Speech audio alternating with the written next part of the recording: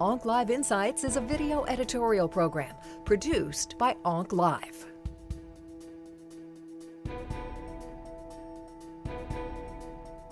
There are a number of uh, different EGFR inhibitors that we have um, for our patients who have uh, EGFR mutant lung cancer.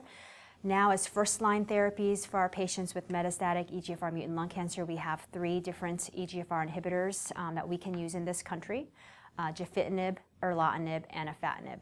Um, there's great data for all three of these, um, which is why they are approved agents.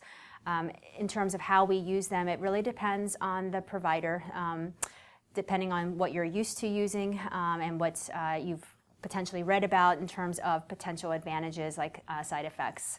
I would say it's very common in, the, in this country to use erlotinib. That's been the approved agent for many years now. So many, many oncologists are familiar with erlotinib. We primarily use erlotinib for patients who have newly diagnosed metastatic EGFR mutant lung cancer.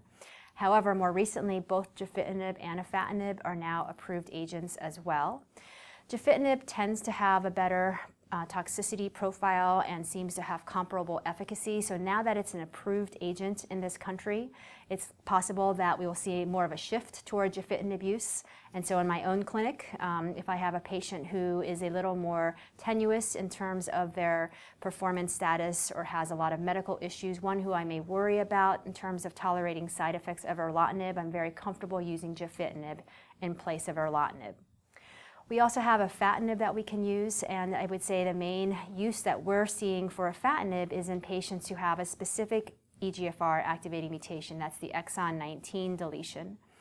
And uh, there is data from the LUX-Lung trials um, that show that there may be an overall survival benefit of a afatinib, particularly in the exon 19 deletions. And so I would say in Again, in this country, we're seeing more and more use of afatinib, particularly for that specific type of EGFR mutations. And again, in my own clinic, I will use afatinib for patients who have EGFR exon 19 deletions, but generally those patients who are perhaps younger and very fit and who can tolerate some of the side effects um, that we see with afatinib, which tend to be a little bit more than with the other EGFR inhibitors. EGFR inhibitors overall are quite well tolerated, uh, but they do have some characteristic uh, side effects.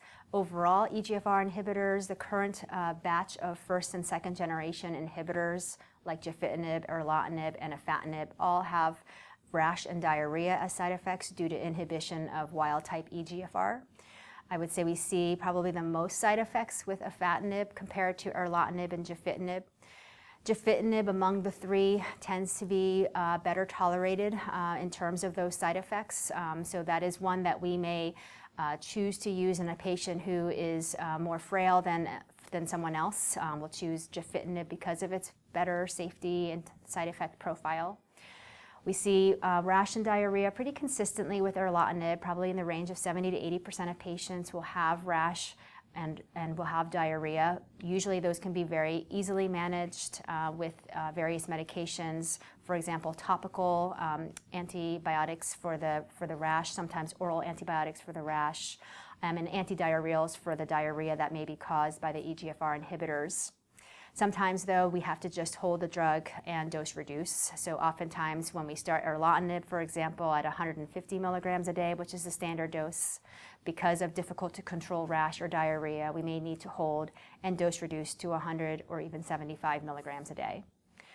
Afatinib, which is a second generation inhibitor, um, also an, an, approved agent for us um, in this country, is a little more difficult in my experience uh, than, than uh, erlotinib or gefitinib.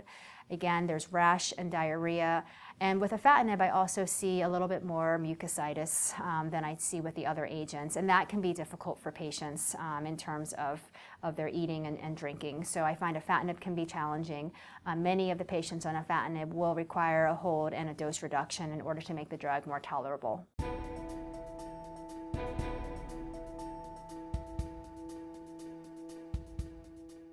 The studies that have uh, pursued rebiopsy of patients with EGFR mutations once they have progressed on first or second generation EGFR tyrosine kinase inhibitors have really been invaluable. Um, what I'm talking about are patients who are initially diagnosed with an EGFR mutation, are treated with a first generation, either erlotinib or gefitinib, or a second generation agent afatinib, um, and on average may go 9 to 12 months before they start progressing. Obviously, if their cancer is getting worse, they're breaking through the inhibitory effect of those first or second generation agents. When you rebiopsy those patients, you understand that in 50 to 60% of those patients, a secondary mutation occurs in exon 20, referred to as T790M.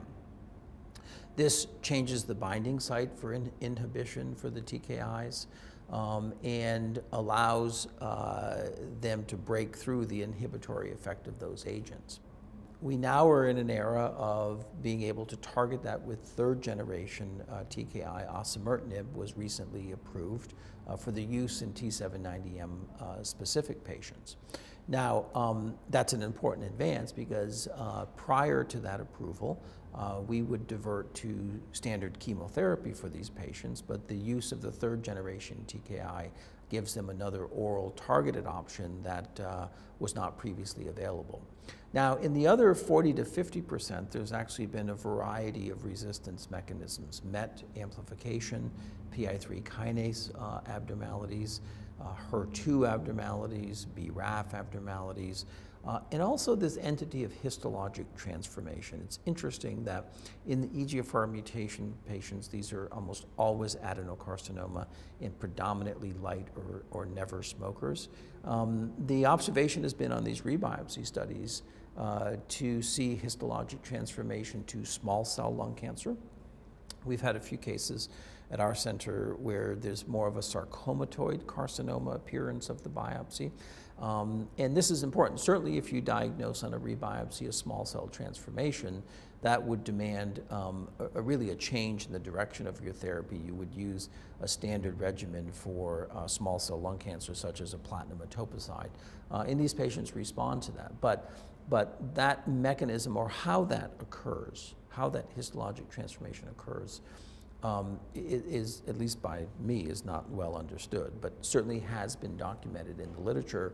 And, and we see this in our practice with EGFR mutant uh, positive uh, patients. Um, the approval of osimertinib and having a T790M strategy is vitally important. This is 50 to 60% of the patients.